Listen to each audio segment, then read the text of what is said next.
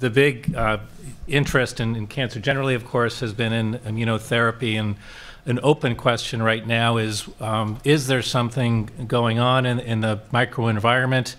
Uh, is there something that might be targetable from an immune standpoint? Um, and it is perhaps even interesting to hark back to the, the, the really old days when interferon uh, did seem to have activity against neuroendocrine tumors for reasons that I would say remain somewhat unclear. So we're really looking forward to hearing more uh, from the talks in the next session, and I will turn it over to Dr. Halperin. Thank you, Dr. Kulke. The one thing I have learned after all these years is I'll, I'll never be able to top your introductory statement. So, on that note, we'd love to introduce uh, Dr. Mina Kim from Columbia, who's going to talk with us about vascular regulation of liver metastases in pancreatic NETs. Welcome, Dr. Kim. Hello, I'm Mina Kim in Columbia University Medical Center. So this is my very first in-person meeting. Um, so I'm very excited and nervous. Today I'm going to talk about vascular regulation of liver metastasis in pancreatic neuroendocrine tumors. As you know, these pancreatic neuroendocrine tumors frequently develop liver metastases, where about 40% of patients do have uh, liver metastases at diagnosis. And we know that, unfortunately, these pancreatic neuroendocrine tumors are pretty immunosuppressive, limiting the therapeutic efficacy to the current immunotherapies. So we do uh, study, and also one more things. So the, these neuroendocrine tumors are is very uh, vascularized, unlike PDAC. Given the limited numbers of the target therapy to treat patients with liver metastases, so there is urgent need to identify new therapeutic targets to control liver metastatic um, disease in the pancreatic neuroendocrine tumor patient. Uh, in our lab, we focused on uh, targeting tumor vasculature to improve immune suppression and ultimately to control liver metastatic progression in PNET. So as I said, we, our study focused on angiogenesis. So we uh, check angiogenic factors, which is um, regulated in human pancreatic neuroendocrine tumors. And we found multiple uh, angiogenic factors, and among them, angiopoietin 2 was the most significantly unregulated gene in the PET liver metastasis comparing to the normal uh, livers. And the recent study, interestingly, we found that the patient with high angiopoietin 2 levels in plasma is associated with poor overall survival. So what is angiopoietin 2? So probably uh, you guys are familiar with VEGF, which is the primary angiogenic factor, but angiopoietin 2 is also angiogenic factor along with VEGF, but angiopoietin 2 is more important to destabilize blood vessels. In pathologic conditions, so VEGF is produced in tumor cells or other immune cells, but angiopoietin 2 is stored in endothelial cells and they are released out of endothelial cells upon inflammatory stimuli. And as antagonists, they bind to Tie2 and suppress Tie2 signaling pathway. And Consequently, this unregulation of angiopoietin 2 promotes vascular leakage by impairing endothelial junction and pericyte detachment. So why vascular leakage important? The previous study showed that um, leaky blood vessels can increase interstitial fluid pressure, which can delay drug delivery. But also recent studies emphasize that the leaky blood vessels reduced uh, induce poor vascular perfusion, which impairs immune cell infiltration into the tumor site and thereby reducing anti-tumor immune response. So as you understand, a lot of recent clinical and preclinical study emphasize the importance of targeting tumor vasculature to enhance the current immunotherapies. So given this, we hypothesized that Ang2-mediated vascular destabilization in liver metastasis can promote metastatic progression by impairing T cell infiltration into the liver metastasis in pancreatic neuroendocrine tumors. So for study, we have used the uh, RIPTEC mouse model that Doug Hannan developed, and we used the RT2, the hybrid mice model, which have enhanced metastatic potential with improved survival. So these mice produce more uh, non-functional tumors, and they have uh, more metastasis, so which facilitate our metastasis um, study. And at the same time, we use experimental PetNet metastasis model using the two cell lines from this RT2, original RT2 and hybrid model by injecting them into the tailbone. So as you can see here, this RT2 mice model, the left side is healthy livers, where you can see the almost absent of angiopoietin 2, but the right side in the liver metastasis, you can see the nice angiopoietin 2 upregulation in the region of um, metastatic colony where the type 2 is suppressed in green.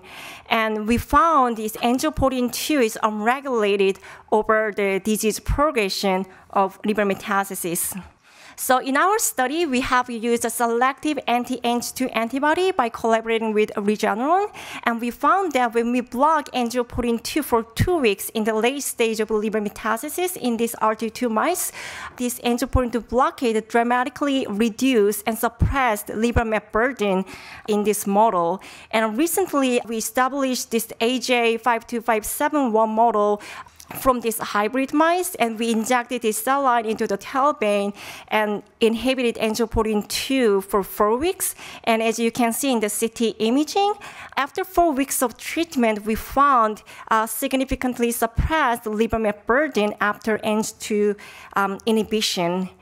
And also, recently we tested the anti-metastatic action of angiopoietin 2 genetic deletion using the endothelial uh, specific angiopoietin 2 knockout mouse model. And then it consistently in this prevention study, we found angiopoietin 2 deletion prevented, reduced metastatic uh, growth in this model. And consistently, when we prolonged angiopoietin inhibition in RT2's spontaneous mouse model, we found the angiopoietin inhibition improved mouse uh, survivor. And given that we tested vascular stability, because as I said, angiopoietin 2 is a vascular destabilizing factor. So we first checked the vascular leakage by measuring extravasated plasma protein. And as you can see in the image, after targeting angiopoietin 2, we found significant reduction of vascular leakage in the liver metastasis. And additionally, uh, we found recently the angiopoietin inhibition improved endothelial integrity by increasing parasite coverage, but also improving adherence and tight junctions on endothelial cells. So based on that, we are wondering the association of this angiopoietin 2 with T cell infiltration the, into the liver metastasis. So first, we'll look at immune cell composition in these mice, and we found about like 5% and 15% of CD8 and CD4 T cells respectively, which is low population.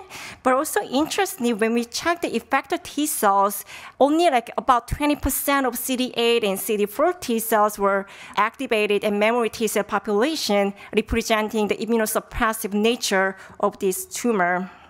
And interestingly, when we check the association of angiopoietin 2 levels with the T cell infiltration in liver metastasis, we found the tumors with high angiopoietin 2 showed poor CD8 and CD4 T cell infiltration. And we can actually see the similar pattern in the human uh, liver metastasis from pancreatic neuroendocrine tumor patient. So as a functional study, we block angiopoietin 2 and check the CD8 and CD4 T cell count in the liver metastasis. And as you can see, this angiopoietin 2 blockade increased the CD8 T cell and CD4 T cell infiltration into the liver metastasis. So currently, uh, we're trying to understand the T cell heterogeneity at the single cell level beyond this study. But also, the, finally, what we did was whether this anti-metastatic effect of angiopoietin inhibition is dependent on immune component. So we tested angiopoietin 2 the effect of angiopoietin inhibition in immunodeficient mice using SCID mice lacking T and B cells and using the two cell lines. And in both mouse models, we found this in these immunodeficient mice, we couldn't observe anti-metastatic action of angiopoietin 2 anymore. And we, when we specifically depleted CD8 and CD4 T cells in this mouse model, if you can see the um, anti-CD8 depletion along with angiopoietin 2 inhibition, we can see the greater metastasis than angiopoietin 2 alone, anti-angio alone treatment, which is comparable to the uh, IgG treated control. And the anti-CD4 treated group, we see the less metastasis compared to anti-CD8, but still greater than angiopoietin 2 inhibition alone treatment, suggesting the role of CD4 T cells more like a partial and complementary role in the anti-tumor immune response.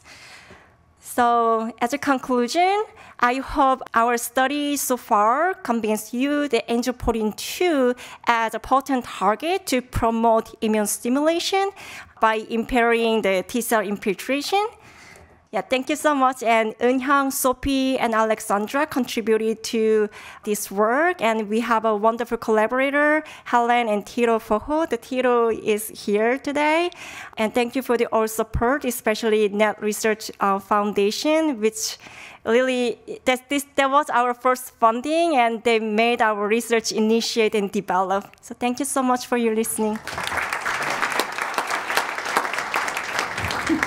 Uh, wonderful work. Uh, I noticed that you, you, of course, your model allows uh, development of metastasis, and then you give the anti-angiopoietin 2, correct? Yes. Um, have you ever tried giving the angiopoietin 2 when you're delivering the, the cells by vein, by tail vein, to see whether you can prevent metastasis? There's the whole concept of the metastatic niche and something about yeah. the microenvironment that enables tumor cells to seed and grow. Uh, and, and, some of those experiments in colon cancer and breast cancer require T cells. Mm -hmm. So I'm just wondering whether the angiopoietin would, would somehow prevent initial uh, residence in another. Mm -hmm. Actually, that's what we are working on. So we wanted to inject this anti-angiopoietin 2 in advance before forming uh, liver metastasis in our model, so to study this prevention study. But that's a great comment. Thank you.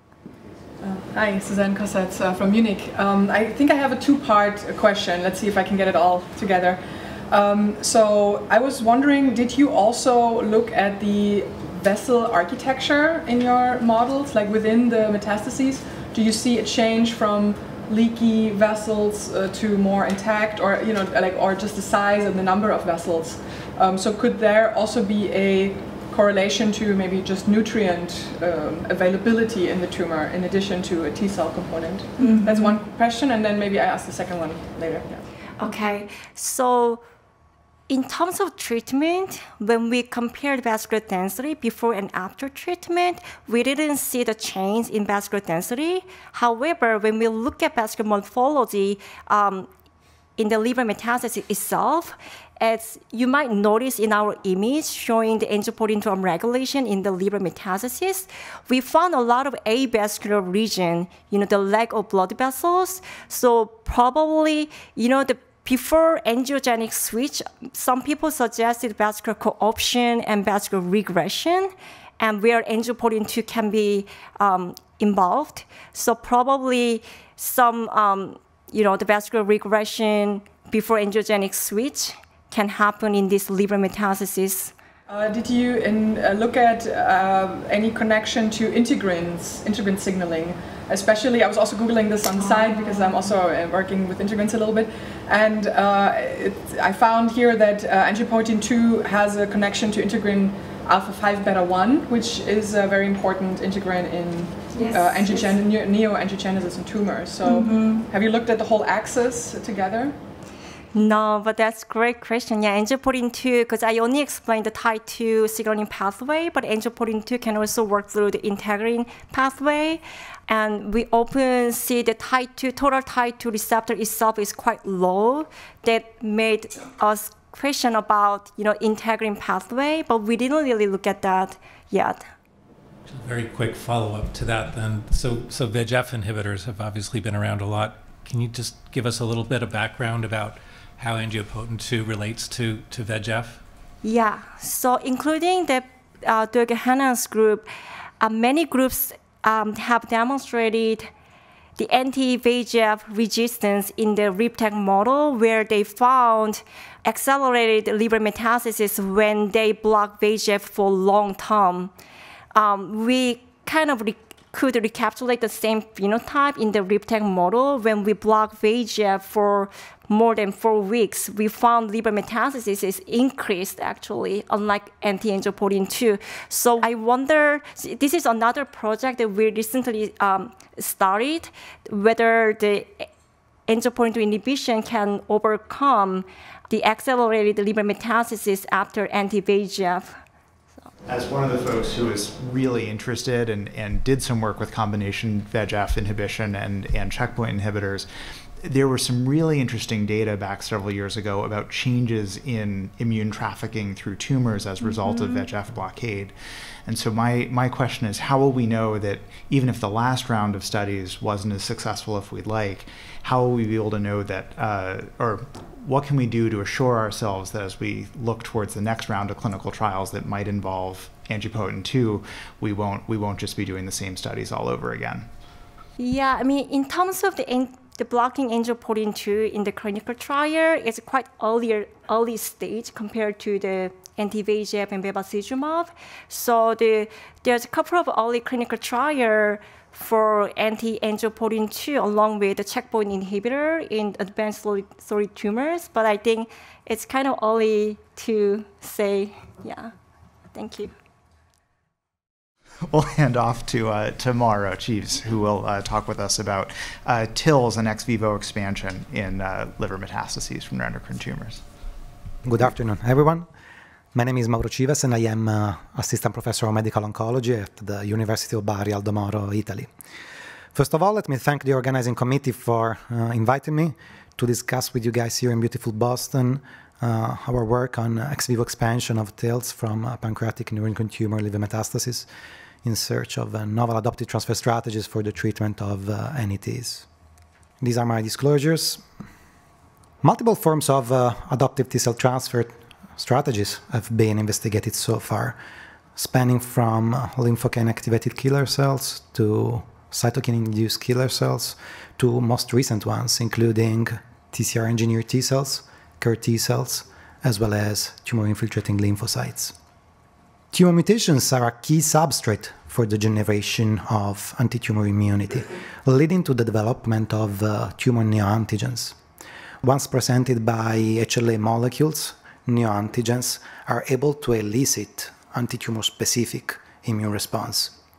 And in particular, uh, tumor neoantigen reactive T cells have been detected across multiple malignancies, and they can be identified expanded in vitro and then reinfused back into the patients uh, at UPenn. Polyclonal TILs have been uh, already shown to exert antitumor activity uh, in patients with uh, metastatic colorectal cancer. And there is recent evidence presented at ESMO in Paris a couple of months ago showing that in the context of a phase 3 clinical trial, tumor infiltrating lymphocytes are able to prolong progression-free survival compared with single-agent immunotherapy with ipilimumab in patients with uh, advanced melanoma. And when you look at these curves from a purely oncologic standpoint, you're not just impressed by the difference between the red curve TILs and the blue curve ipilimumab, but also by the fact that you have a tail persisting there in the red curve. That means that at least theoretically, there, there is a certain, a certain percentage of patients that are cured by this therapy. Even more intriguingly, there is a very recent evidence coming from uh, NIH that not only bulky lymphocytes, but in particular neoantigen reactive tumor infiltrating lymphocytes can be affected in treating solid neoplasms. And here there is a work uh, showing the effectiveness of this treatment against breast cancer. Prior research from our group demonstrated that the majority of pancreatic neuroendocrine neoplasms are characterized by a limited neoantigen load. Although there is a small proportion of pancreatic neuroendocrine neoplasms that can have a high neoantigen load, and that correlates with extrapancreatic spread, grade 2, and uh, high T. In particular, a linear relationship could be seen between neoantigen load and CD4 infiltration, as well as neoantigen load and dendritic cell infiltration. On this basis, and thanks to a grant from the NET Research Foundation, we started in uh, March 2022 a new project aimed at identifying and expanding for therapeutic purposes tumor neoantigen reactive T cells for the treatment of uh, pancreatic neuroendocrine tumors. We enrolled patients with uh, G1, G2 pancreatic uh, neuroendocrine neoplasms metastatic to the liver.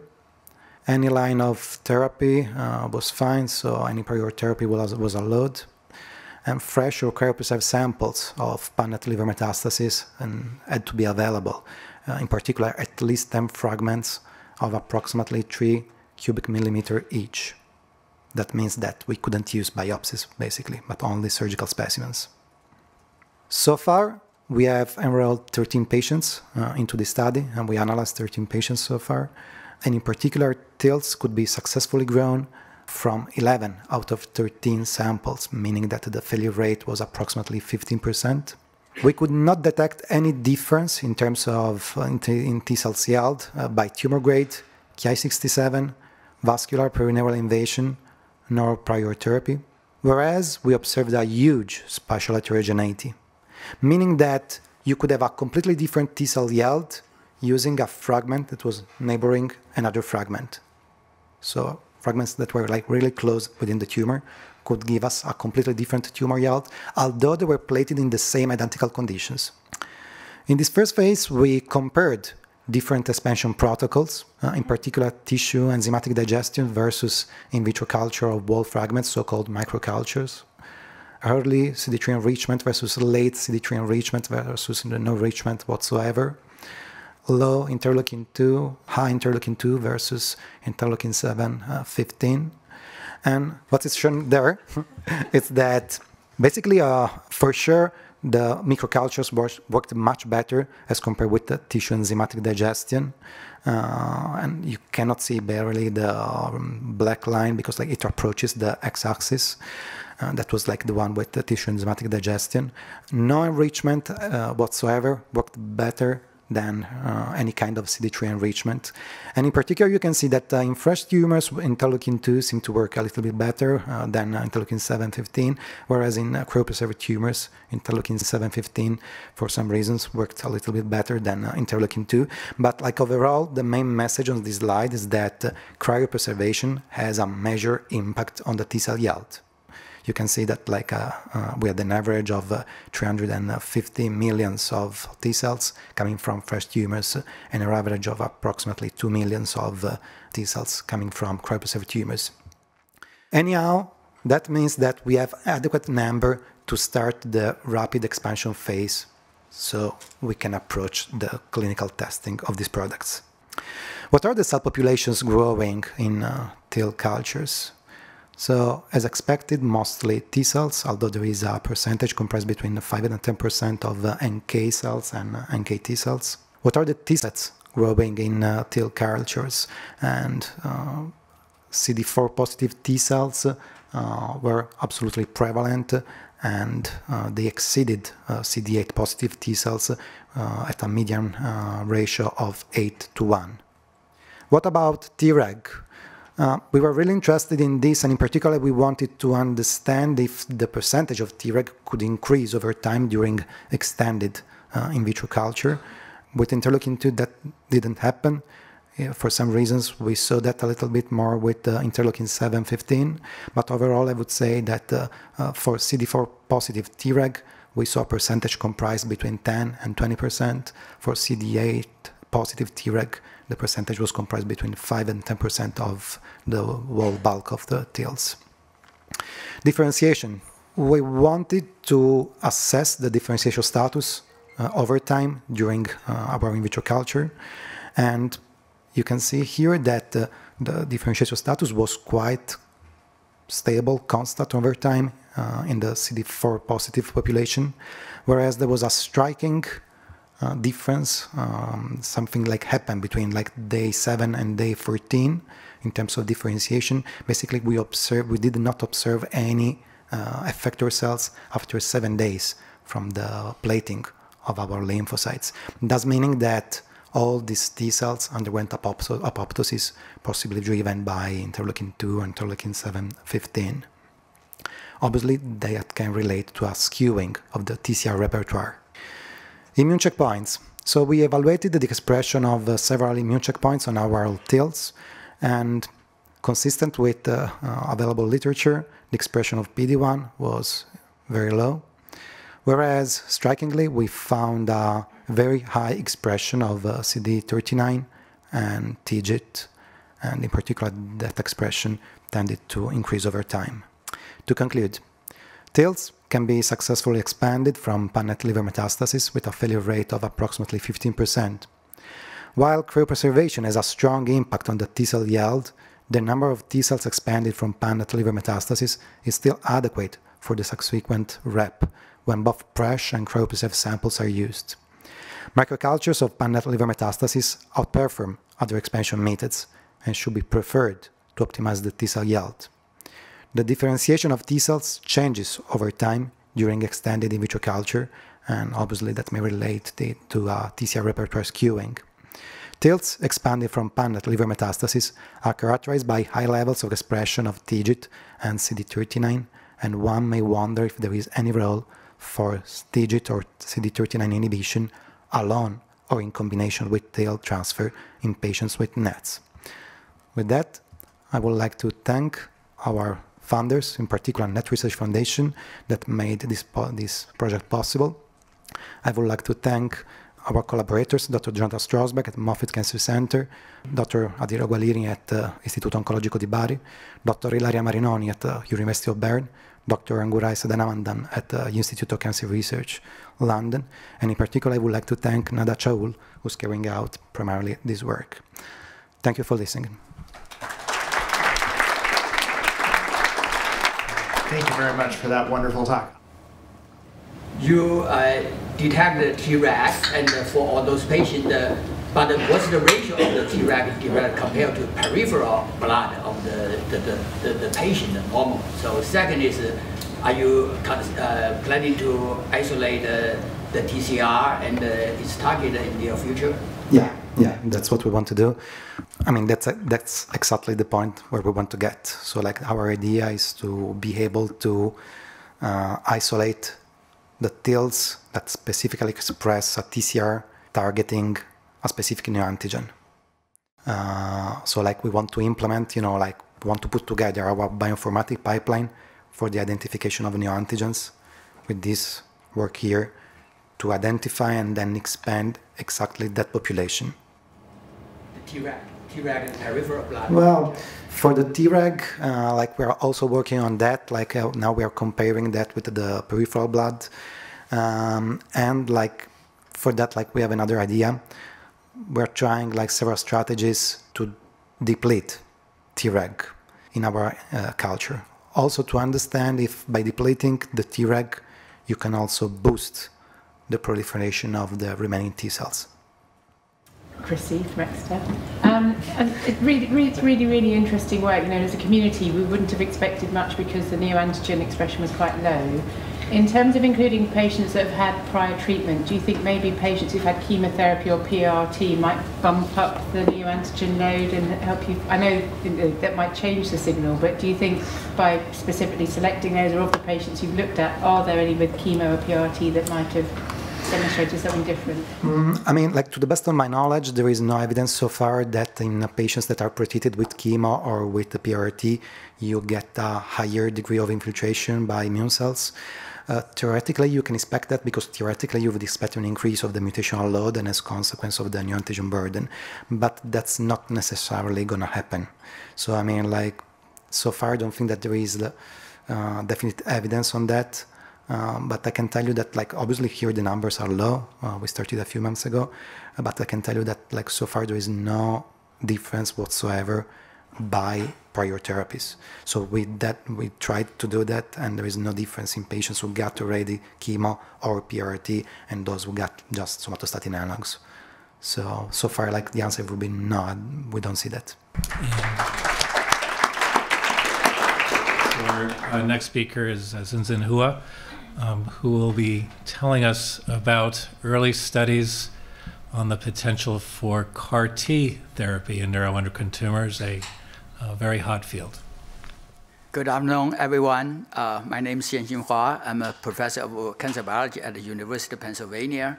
Uh, today, I'm uh, very uh, happy to have this opportunity to, uh, to share with you some recent progress on further I, uh, analyzing the third generation CD17 CAR Ts, which can eliminate NETs and uh, uh, GI solid tumor. And general, the, the results is it actually uh, activate uh, enhancing multiple uh, T cell signaling pathway. I want to mention this is a work in progress. this is all the, the majority data is unpublished, so still a lot of work to be to be done. This is my disclosure slide. So uh, last year uh, in the virtual setting of the meeting, so uh, I descri described the CD17 CAR T uh, the nanobody, the uh, nanobody redirected CAR T cell can eliminate uh, Uh, neuroendocrine tumors. Uh, since then, the paper just describing this work just published uh, in May issue of Nature Cancer. Actually, we were very happy they featured this on the cover. And also, this related work is now licensed by University of Pennsylvania to, to a company to uh, further uh, clinical trial. And uh, my colleague, Uh, Dr. Jennifer Yi is uh, also here in the meeting, and uh, I and others will continue to push this to clinical study. So today, what I'm going to talk is to follow the previous work uh, just published, uh, which described the second generation CAR T is a top diag diagram, and the third generation the top of second generation increasing this CD28 intracellular domain as green color.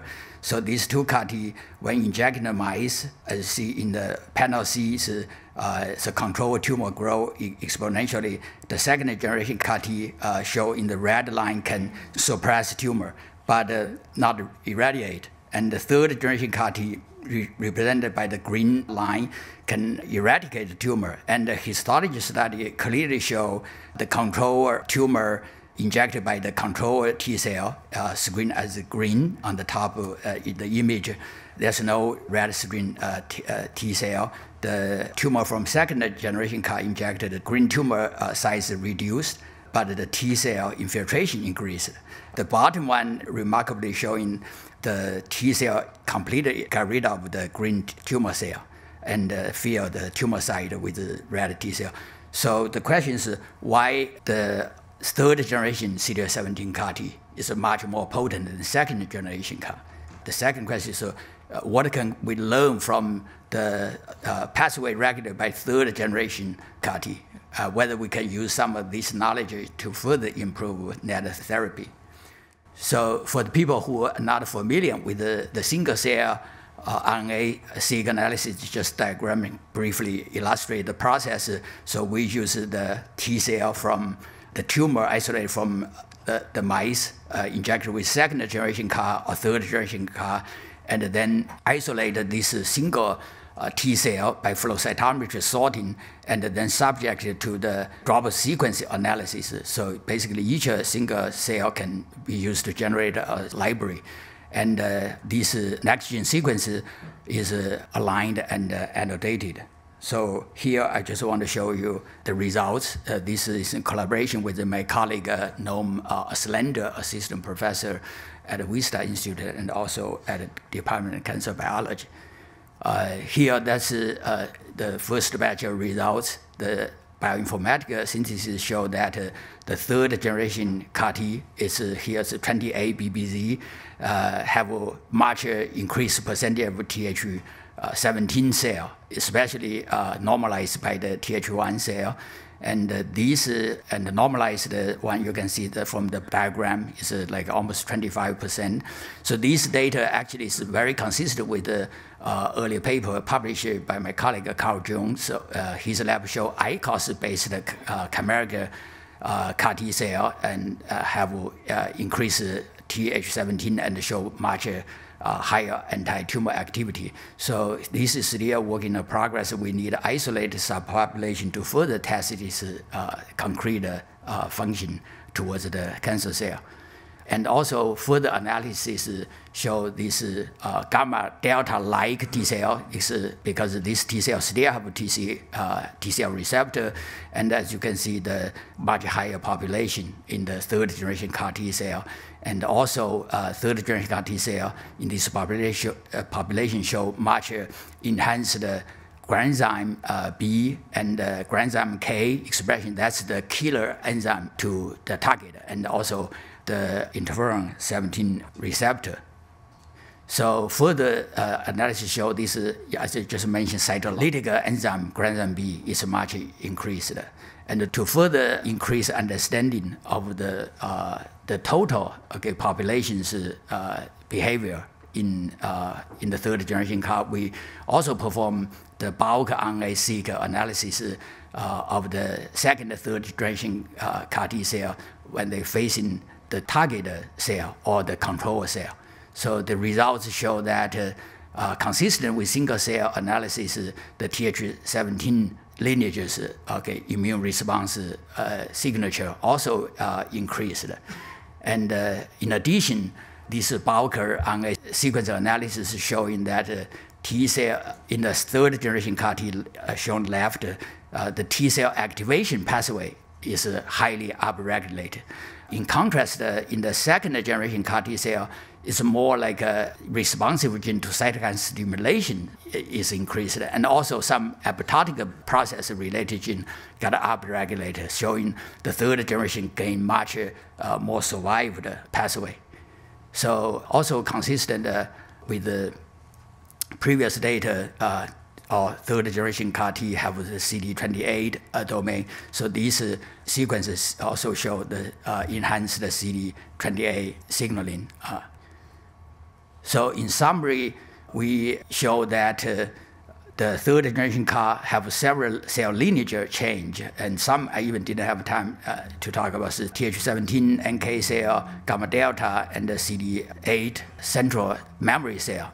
And uh, in the signaling pathway for the third generation CAR T have Th17 and TC activation domain and the granzyme domain upregulated but the uh, T cell response apoptosis is downregulated, which is upregulated in the second generation CAR T. So uh, that's the summary. And the future work, we still need to determine which uh, of the subtype CAR T cell upregulated by third generation CAR really works better ex vivo when isolated pure or in vivo, and uh, whether we can use ectopically express some uh, key master gene can further enhance the third generation CAR T's function. So before I end, I want to thank the people who make a great contribution to this recent progress, uh, Jay Feng and uh, Xin He, and uh, they actually did a lot of work and assisted by uh, many others in the lab, and also my colleague Noam uh, did a fabulous work on the bioinformatics analysis, and uh, my colleague uh, Carl Jung and others, and uh, I would be the bigger remiss if I've not uh, mentioned the funding by Neuroendocrine Foundation, which uh, is uh, provided the absolutely essential fuel to move the project. I really appreciate. Uh, uh, I stop there. Thank you for your attention.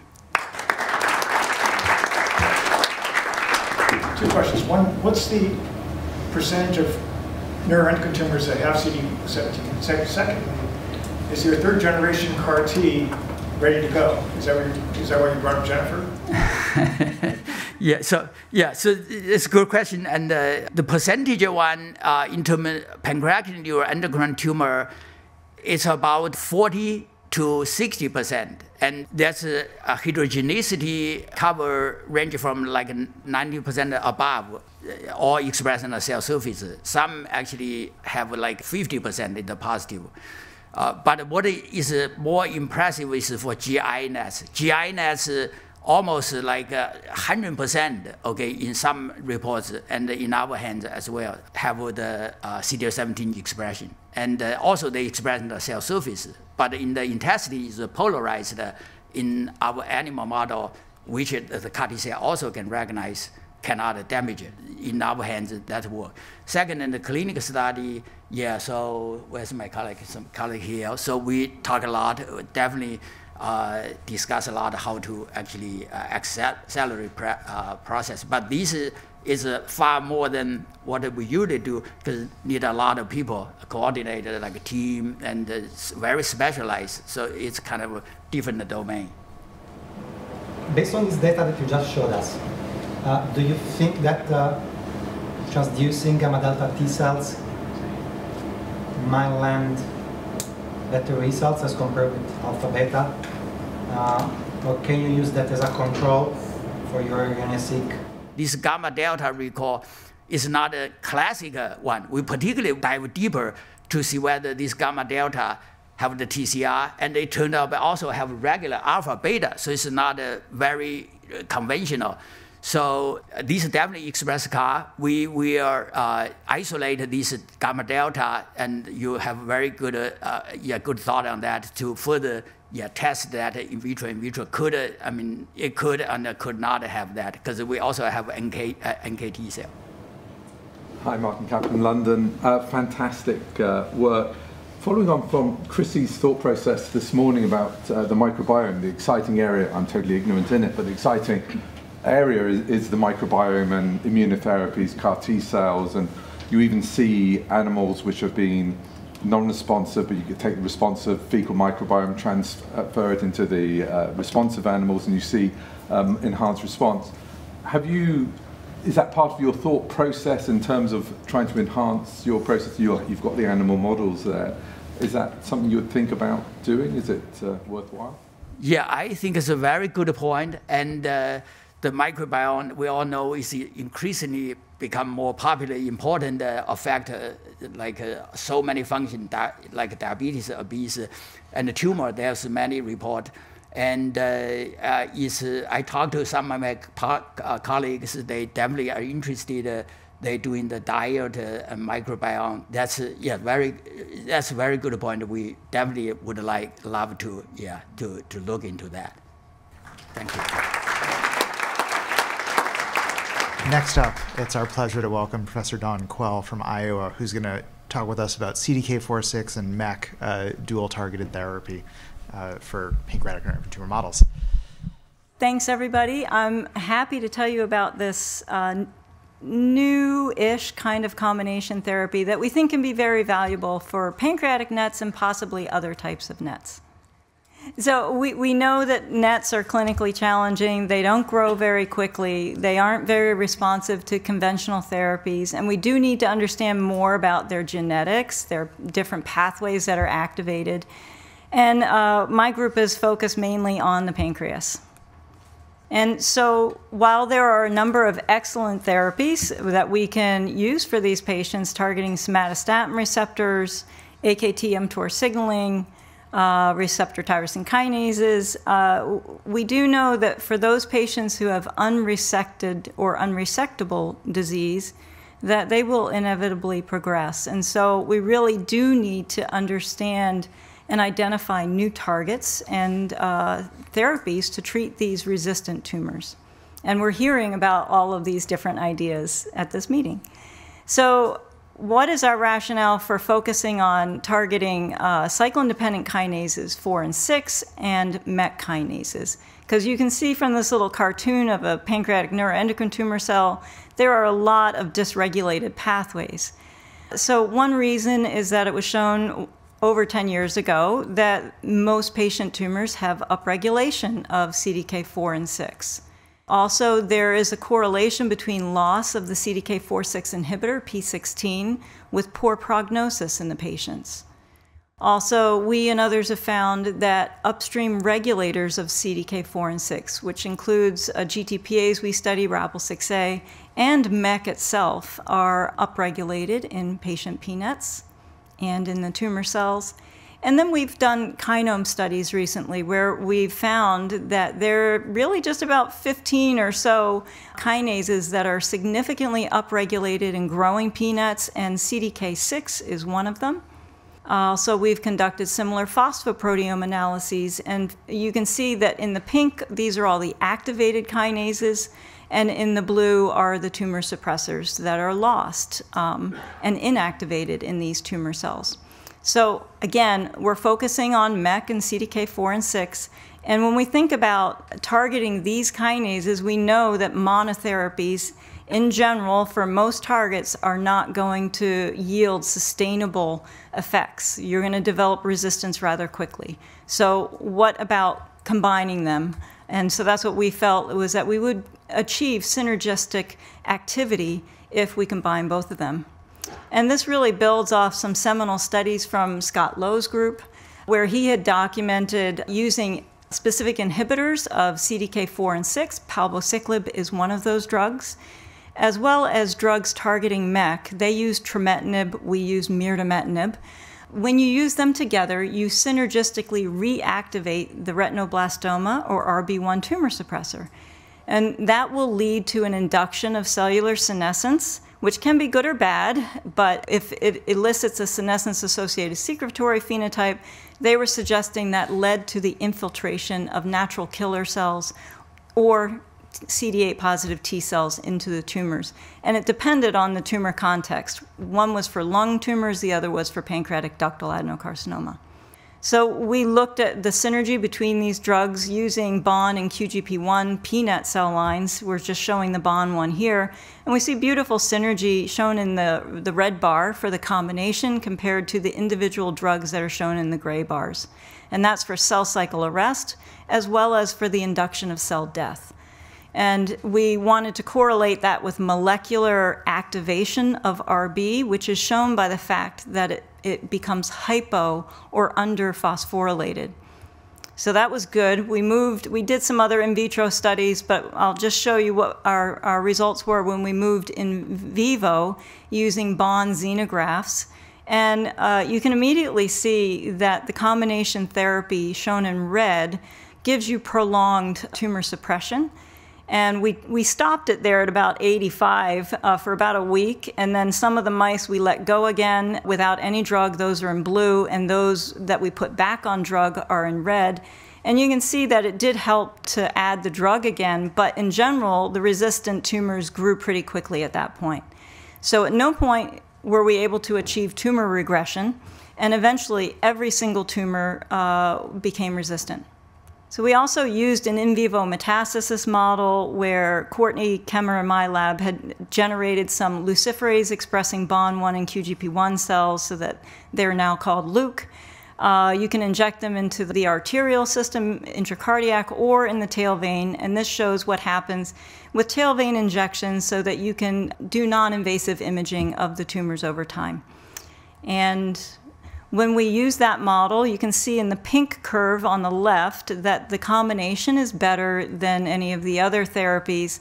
We're not quite significantly different than mirdametinib, but we were trending in that direction. And that's shown in that mouse below at weeks four through seven, that we really had little tumor growth. But more importantly, we actually reduced the number of colonized sites in those animals. And that was more impressive than actually suppressing the rate of tumor growth. So we really wanted to get into an immune competent model. And so our next speaker is Zhizheng Wan from Rutgers is going to tell you more about uh, some of their studies. But we collaborated with them because uh, they've generated not only MEN1 knockouts, but also MEN1P10 double knockouts. And you can see that there's a lot of CDK4 to target in these tumors. Um, and these mice will develop de novo insulinomas at about five to six months of age.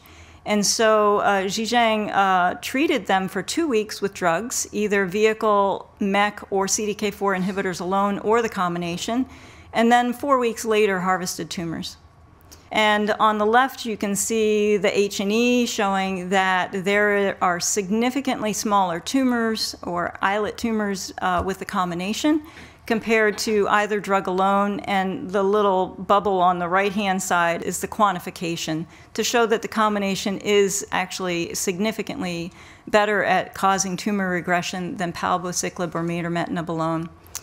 Uh, with that dramatic tumor regression, and based on the prior papers, we're potentially expecting to see an infiltration of natural killer cells or T cells but we also had another sarcoma model, and we also, in that model, saw infiltration of B and plasma cells. And in this model, we also saw a significant infiltration of CD19 positive B cells and or plasma cells. We can't distinguish based on that stain.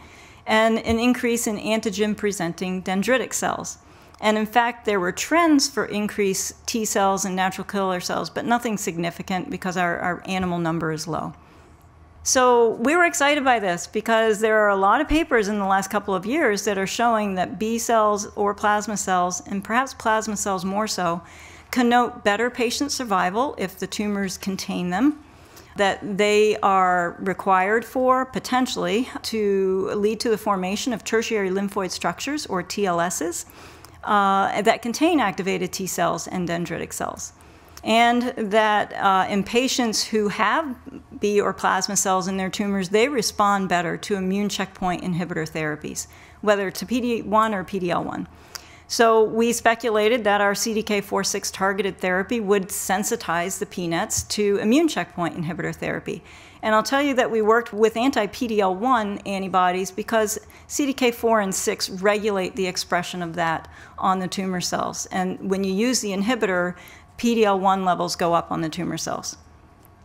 So, in fact, Zhizheng did this experiment, and it's beautiful. Uh, when you uh, look at the combination shown in the blue curve, it shows you that you're getting a beautiful regression of the tumors that were treated for just four weeks, and that's shown by the serum insulin levels dropping dramatically, as well as the measurement of the tumor size. And you can see the comparison, you get intermediate effects with palbociclib alone, and interestingly, a fairly good effect with anti-PD-L1 alone. So what I've shown you at this point is that uh, this combination synergistically suppresses PNETs, both in vitro and in vivo, that the inhibition, if we use it in immune competent mouse models, induces a unique B and plasma cell signature, as well as dendritic cell accumulation, and that it sensitizes those tumors to immune checkpoint inhibitor therapy uh, our future studies, we really need to get more numbers for our animal studies. So we're expanding those, hopefully get better stats on our flow cytometric data. And we do want to actually do multiplex immunohistochemistry. We want to quantify the TLSs, and we want to evaluate their maturation status. Are they early? Are they actually fully mature and containing plasma cells? We want to do similar studies in the non-functional PNETs that, that James mentioned this morning using his syngeneic allograft model. And then we want to test the importance of B or plasma cells by using mice that lack them and seeing whether or not the tumors and their response to drug is affected. And so uh, these are pilot studies that Zhizheng has, has conducted, and you'll see that with the combination of the palbociclib and anti-PD-L1, we are seeing a trend toward increased plasmablasts in these tumors. And surprisingly, in the gray bar, the CDK4/6 inhibitor alone is leading to an increase. We also see a trend toward increasing dendritic cells. Notably, we do not see any increases in T cell numbers. If anything, they go down with the combination. I'm, I'm interested to see if what we get is a reorganization of the T cells. So it's not a change in number, but it's a, an aggregation or clustering of them into TLSs. So that's one thing that we'll be looking at. We are working with a variety of companies, but with the Oregon Health and Sciences uh, University Knight Cancer Institute, they do 23 marker panels on a single slide of tissue with iterative rounds of antibody staining, imaging, and destaining. And we're getting some really nice data where we can look at immune cell composition in the tumors. We can correlate that with survival of the mice or the patients with TLS number and composition.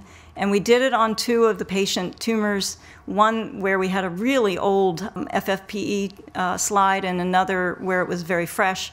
And in both of them, we're getting nice staining results uh, showing B cells and what we want to do in the future is actually look at plasma cells, et cetera, and correlate that with all of the other immune cells that are present within the tumors.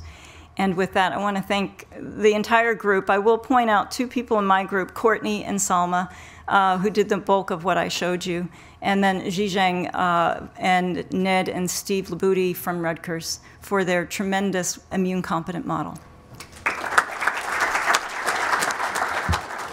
So a few years ago, we looked at that, uh, at least for the GI tract, and what we found is that uh, particularly uh, duodenal nets uh, seem to harbor tertiary lymphoid structures. Uh, what type of nets? Duodenal. However, like to the best of my knowledge, uh, immune checkpoint inhibitors have not shown that much benefit in that specific population. So my answer, my comment is, are you sure that these results that you just showed us are really related to any changes in uh, tertiary Yeah. structures? That's a perfect question, and that is one of our questions in a grant proposal that we've written because it's un, it's unclear. I mean, are they really important or are they not? Um, and are plasma cells or B cells needed for that or are they not? There was one very nice study in ovarian cancer where they got rid of B cells and they had absolutely no response to immune checkpoint inhibitor therapy anymore. And that's a preclinical mouse model, but it was very informative and suggests that they may be important, but maybe the context is also important. And maybe there's a suppressive environment, and maybe you have too many M2 macrophages, or you know, whatever it might be. And I think the composition of those TLSs are they are they really mature? Do they have the dendritic cells? Do they have everything that is needed to enhance the anti-tumor immune response? Great thought. Really, really beautiful work, Dawn. Thank you. I'm playing devil's advocate here. Do you think you've got enough information to be confident to just go straight into a clinical trial, and that you know there's early phase studies Yes. going on, you know, using these drugs in combination, and it's Well- just putting it out there. Yes, and that was our third aim for our proposal is to do a window of opportunity trial. We can't quite jump into phase one, but what we were going to do is, is take patients uh, who are scheduled for surgery, give them a course of a couple weeks of CDK4/6 inhibitor as well as anti-PD-L1 because Genentech said they'd provide it. Um, and then uh, after that treatment, they'll undergo surgery, and we'll actually evaluate: Are we seeing these these changes in the immune environment, and would that give us a good uh, justification to move on to like phase one and two trials? Thank you. One, there was one question in the chat as well that just came out. Um, what, i- what is known about the potential PK interactions between these drugs? And is that a potential concern? Uh, I guess it would be a reason to do a phase one. Yeah, I think so. I don't think that there's any concern about PK interactions. Um, there are some some early trials that are going on in breast cancer, um, and so far as I know, there are no issues with it. But it's a really important question. Okay, thank you. Our, our next speaker has already been partially introduced. We've seen some of the work. Uh, Dr. Um, Zhizheng Wan, um, who will be um, speaking to us about the role of the B7X signaling pathway in neuroendocrine tumors, uh, and joined on online by um, Dr. Steve Lavuti as Yeah. well. So this project is uh, supported by the um, Neuroendocrine Research Foundation. Uh, today, um, of my title, the title of my presentation is the role of the B7X signaling pathway in the development and progression of the pancreas neuroendocrine tumors. So the B7 family and their receptor, the CD28 families, are the major immune checkpoint that regulation T cell activation, which make the pathway very attractive targets, such as uh, PD1 and PD-L1. We have discovered a new immune checkpoint protein, B7X, which is uh, involving in enhancing cancer uh, development and progression by inhibiting T cell immunofunctions. So use our human tissue bank, we demonstrate that B7X is uh, upregulation in 60% of the human peanut tissues. They also have a stronger correlation with stage. In the stage 1 is a 50%, and stage 2 is a 57%, and stage 3 is a 75%, and uh, stage 4 is a 100%. We also demonstrate there is a significant correlation between the B7X expression with uh, tumor size and tumor cell proliferation by Ki67 staining. So we also developed an uh, MEM knockout mouse model. This mouse model can develop an insuloma at 10 to 12 months, and insuloma as a biomarker can monitor tumor growth. And we also use this mouse model can identify that uh, B7 upregulation in the MEM tumor, uh, but not in the normal pancreas. So to assess the role of the immunocheckpoint B7X activation on PNET tumors, we generated MEM1 and B7X double knockout mice by cross crossing MEM1 single knockout mice and B7 single knockout mice. In panel A, we can see the insulin is a significant decrease in the MEM1 B7X double knockout mice compared to MEM1 single knockout mice. And panel B, we also identified that tumor size is significant decrease in the MEM1 B7X double knockout mice to compare the MEM1 single knockout mice. So use a flow assay, we also demonstrate loss of the B7X in the pancreas island of the MEM1 double knockout mice increased T cell infiltration and NK cell proliferation. So to investigate whether the targeting of the B7X can modify tumor microenvironment and inhibit tumor growth, we generate a B7X antibody. And we treat the mice with this antibody and IgG control uh, in panel A, we demonstrate uh, insulin significant decrease in the B7X antibody compared to the IgG control. In panel B, we demonstrate improved survival in the B7X antibody treatment group compared to the IgG control group. So this is a, a histology assays. We can see the um, tumor size a significant decrease in the B7X antibody treatment group compared to the IgG control group. Use the flow assays, we also demonstrate that T cell infiltration in the B7X antibody treatment group compared to the IgG control group. So in the flow, we demonstrate that loss of the B7X can inhibit the tumor growth. So we want to understand what driver the B seven X upregulation in the tumor genesis. So some literature has report HIF1 alpha can cause the upregulation of a PD-L1. And uh, the HIF1 alpha can also bind to the PD-L1 promoter. So a number of the study also showed upregulation of a HIF1 alpha in the pancreas neuroendocrine tumor. So maybe we're thinking HIF1 alpha is a driver to B7X upregulation. So use our the mouse model, we demonstrate HIF1 alpha and B7X is upregulation when the islet cell population from the six months and the 12 months of the, our MEM knockout mouse. So we also use the uh, mouse beta cell model. We demonstrate HIF1 alpha regulation B7 expression under hypoxia condition in panel A. When the cell culture under the hypoxia condition, the HIF1 alpha and B7 induce expression. Uh, but uh, we treat cell line with the HIF1 alpha xRNA, we don't see the HIF1 alpha and B7 regulation. We also use the B7X promoter lucifer assay. We demonstrate the, the cell line uh, under the hypoxic condition, the B7X promoter activation. So we also use the qPCR assay. We demonstrate that HIF1 alpha also can bind the uh, B7X promoter in N134 beta cell under hypoxic condition and MEM1 tumor tissue of the MEM1 knockout mice.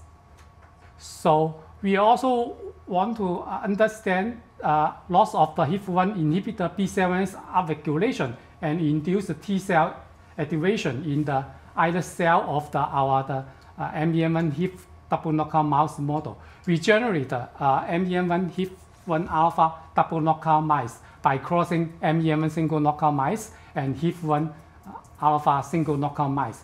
We also can see the B7's downregulation in the MEM1 HIF1 alpha double knockout mice compared to MEM1 single knockout mice. We also demonstrate immune cell populations increase in the MEM1 knockout HIF1 alpha double knockout mice compared to MEM1 single knockout mice.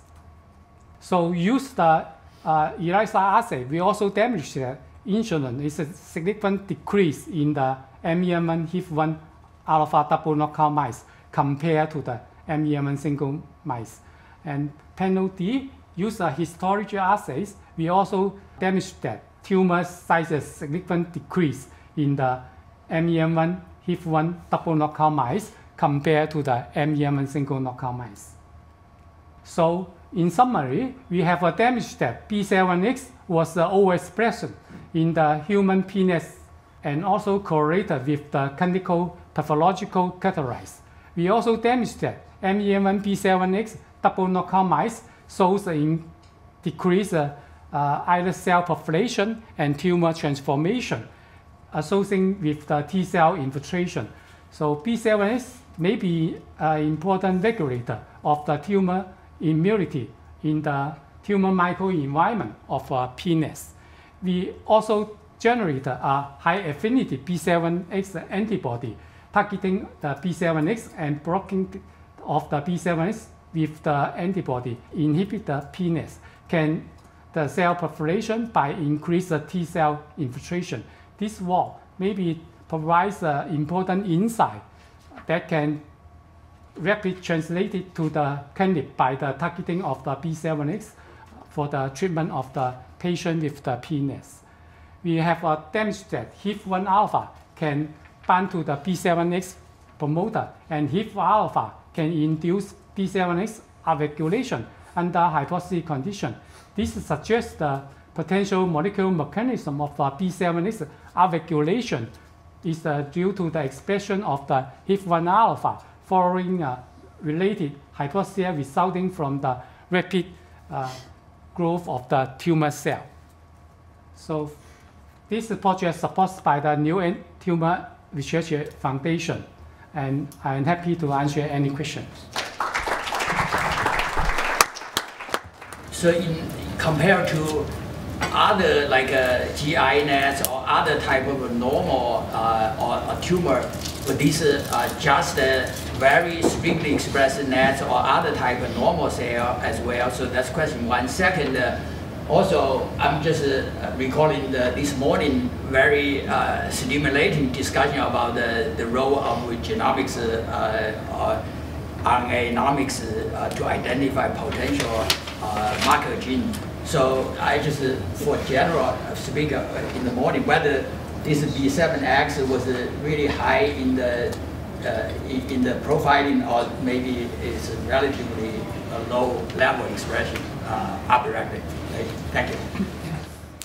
Yeah, but um, our the tumor tissue band most part is the pancreas neuron tumor, and maybe next step, we will uh, do more the uh, GI neuroendocrine tumor, uh, see how about the B7 ex expression, and um, maybe the our uh, our the cooperation group they have a lot of the sport uh, uh, small about the GI tumor, so maybe we can screen the more uh, the another kind of the neuroendocrine tumor and see how about the B7X expression frequency. Yeah.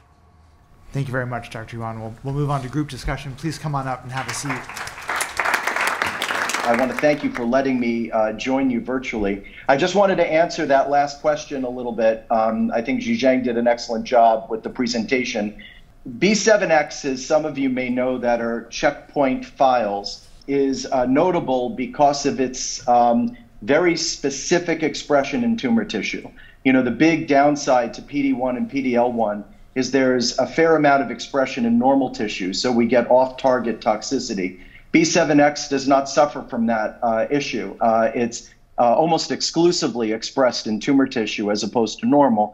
And understanding why that is is actually part of the interesting science around this checkpoint protein. We did look at GI nets. We have a wonderful collaboration with Dawn and her colleagues at the University of Iowa, and Jim Howe, uh, who many of you know, has an amazing tumor bank uh, with GI nets of various stages as well as PNETs.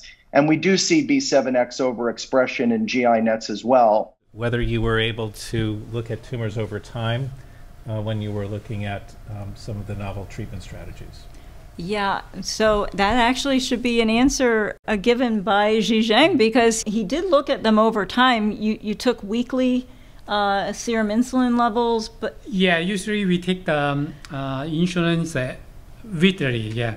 And then, uh, but we did take terminal. I mean, when he yeah. euthanized the mice, we just have uh, an analysis of the tumors by flow cytometry or by immunohistochemistry. So that is a static single time point and we just need a lot more animals to actually yeah. do it at, at time points early. Like when they're most sensitive, do we see an even greater change? Then at later time points, maybe when they're starting to become resistant, if they are becoming Yeah. resistant. We haven't And seen it yet. Yeah, you want to do the more mice and check the, see the, the first cycle, uh, how about the change, and uh, stop the treatment and see do the, if the uh, insurance increase again. Maybe we can treat the another time and see how about the resistance again or no. Mhm. Yeah, we also maybe do more mice to see how about the survival change or yeah. Great question, though. B7 acts exclusively on tumor cells or also on stromal cells? in the tumor cells. Yeah. The B7X expression in the surface and also in the cytoplasm. So the, maybe the B7X have a two function. In the service, they have a immunosuppress function. In the uh, cytoplasm, maybe have an oncogenic function. It's like the PDL1. PDL1, they have two function. PDL1 overexpression, they have two function. One, if uh, in the service, they have a immunosuppress function and block uh, interaction with the T cell. When the PDL1 uh, located in the cytoplasm, they have an onco uh, genic function, oncogenic function and make the tumor genesis. Yeah. A question from the chat for um, Don and Xiang. Do you see recurrence in mice treated with palbo and anti-PD-L1? We haven't done the experiment yet, so it's a great question, and hopefully we'll get money and support, and we'll do it. Did you look at the combination effect in the metastasis context or only in the pancreatic neuroendocrine tumors? Not yet. His model develops METs, so we want to do that, uh, but we haven't Yeah, let them not age doing it, enough. So your model doesn't develop liver mat? For the uh, MEM1P10, yeah. No? MEMP10. Yeah, MEMP10, yes, but MEM1, that's a very low percentage developing the metastasis. Yeah. Only about the 10% is very low, yeah. But 80% in your yeah, MEN1P10 yeah, knockout yeah, double develop M1, METs. MEM and Yeah. P10 double knockout. So, so Don, actually, actually, I have a question. Uh, I didn't get a chance to ask uh, about yours. The combination of the CD4 and the 6 uh, inhibitor and the anti-PD-1 uh, is very striking. So I assume you use anti-mouse PD, PD-1, right? Yes. In that model. Yeah. So did you get a chance to, to, to, to check, maybe you already did that. So if you use uh, immunodeficient mice uh, with human tumor and human T cell, w- were you able to recapitulate this, the similar response? Yeah, it's a great question. We haven't done that. Um, so we, yeah, it, we get only tumor suppression in an immune deficient animal with um, with CDK4 MEK inhibition. Uh, we haven't done anything to, uh, I guess, change the system, add in T cells, see what we get. Um, those are great questions. With the human, yeah, human. Yeah. Brian, uh, just a question on the B7X. Uh, those animals, the MEN1 knockout model, um, seems to go from a normal islet to a hyperplastic islet Yes. to then a neoplastic islet. And I, I'm just wondering how your B7X expression changes over time because there's obvious implications for normal islets, right? Yeah, usually the, the MEM knockout, they get the hyperpressure at the six months and get the insulinoma at the 10 to 12 months. And we, we checked our the, uh, six months hyperpressure, they also increase uh, B7's overexpression. But it's um, Brian, Brian, that's a great question. Um, so we don't see B7X overexpression in MEN1 knockout islets in uh, new, newborn mice, and we don't see it at three months. It's actually between three and six months that we begin to see that B7X expression. And that's actually partly what drove us to want to understand what is the pathobiology of B7X upregulation, because it's not simply MEN1 loss that drives B7X. And that's actually what eventually uh, that and data that had been published on PD1 and PDL1 with respect to HIF1 alpha um, put us in the direction of that HIF1 alpha story. That as these cells become more proliferative, um, probably as the result of not only MEN1 loss, but other changes that occur, um, most likely epigenetic changes um, that begin to perturb, you know, the the hypoxic environment of these um, of these growing islets, uh, and that may be what then triggers B7X expression, um, and together with other genetic changes allows them to make that transformation into, into frank neuroendocrine tumors. Um, but it's a great question, and we don't see it expressed on normal islets. We don't see it expressed on MEN1 knockout islets until they get to be hyperplastic. Just to follow up on, um, I think some of the questions that were starting to be asked, uh, and I think I'll, I'll, pose it in this way. We're actually already getting questions from patients as to uh, whether CAR T therapy will be available for neuroendocrine tumors. So to answer that question, I guess the I would pose what are the barriers um, to uh, taking the really promising preliminary data that you have and and, and getting it into the clinic or e even in, in in the form of just a trial? Yeah, this is some some question we also uh, wanted uh, to answer. So just uh, to give some background information, so, so this uh, the CD17 CAR T cell, this uh, technology uh, is uh, so has been licensed out by uh, University, University of Pennsylvania to a company to spearhead the clinical trial and uh, I do not have uh, the exactly the uh, the each step okay uh, the information, but what I can tell is uh, it's uh, they are working actively to get FDA's approval, and you I mean at the frontier of clinical trial, or you know that is a completely different domain from uh, lab research. Uh, each step is highly rigorously uh, regulated, and uh, there's uh, a lot with their plates. But I, as far as I know, patients are very anxious to, to move forward, and also uh, the, the company is working very hard. Thank you the follow on for sort of clarification, because I do get the exact same questions in my clinic. Can you give us a sense, maybe, uh, about sort of that pre IND stage and, and what type of uh, path it looks like in terms of length and, and robustness for a CAR T agent as opposed to maybe the targeted therapies that many of us are used to dealing with? The procedure wise, so that's uh, more or less similar to the, uh, the cell therapy, you know, the first the CD uh, 19 CAR T uh, was trialed and uh, made by my colleague uh, Carl Jones group. And uh, more or less, so you need to have the uh, GMP good manufacturing practice from plasmid. So plasmid you cannot use for the lab made. So they have a designated provider for that. So it's have the GMP certified. Then with that, you need to generate uh, the lentivirus expressing your CAR T. Also, it's another different vendor. It's not the same. So they have to be certified by, by FDA, uh, eligible for the FDA product. So they make uh, uh that, uh, and that's uh, all detailed like a next gene sequence, every single nucleotide, every batch you produce, it meet verify, It's not say you sequence in last generation. No. So then with that, it need to introduce to the this larger uh, tens of liters of culture and uh, to also verify copy number.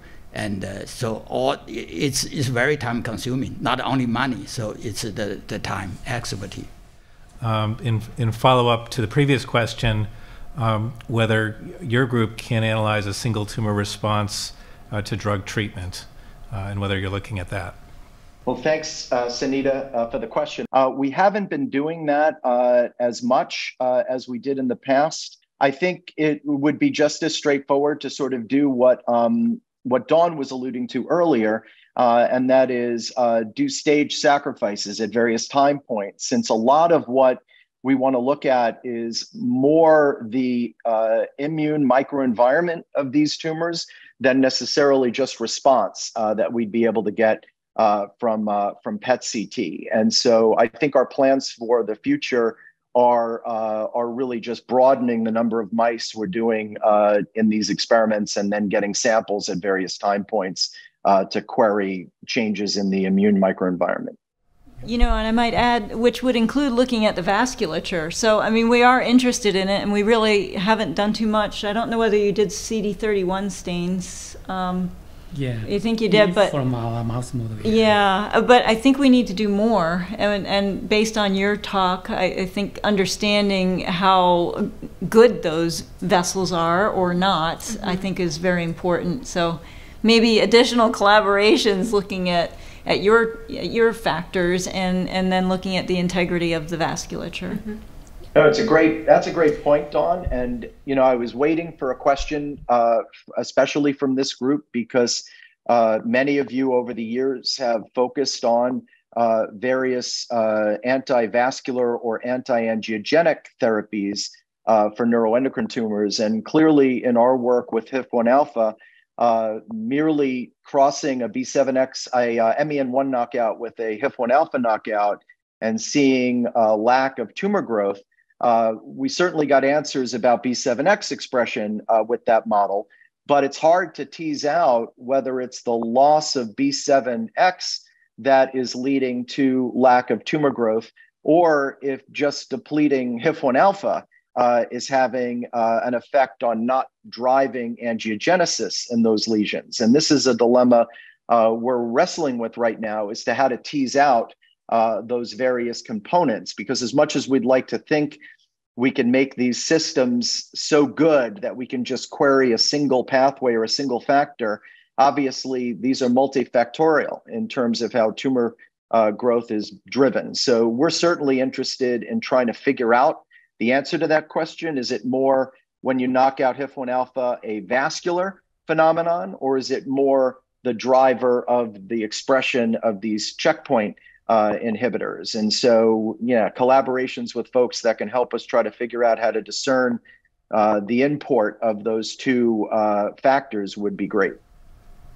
Well, that was, a, I think, a compelling discussion. Thank you very much to all of the speakers. Wonderful and, and really exciting talks. Okay.